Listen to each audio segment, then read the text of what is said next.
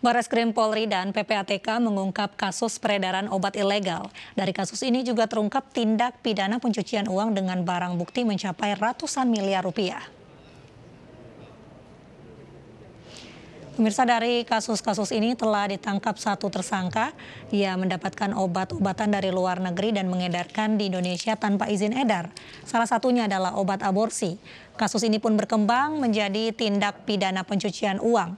Keuntungan yang didapat tersangka mencapai 531 miliar rupiah yang tersebar di sembilan bank.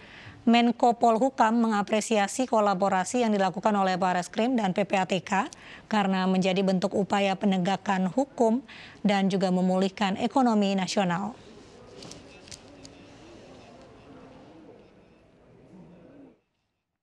Pengungkapan tindak pidana pencucian uang ini merupakan bagian dari komitmen pemerintah dalam penegakan hukum.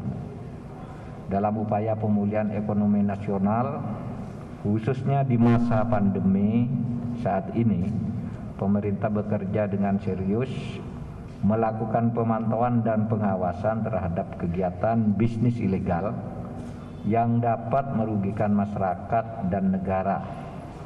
Dalam hal ini terkait dengan yang untuk kasus hal ini terkait dengan peredaran obat-obatan ilegal.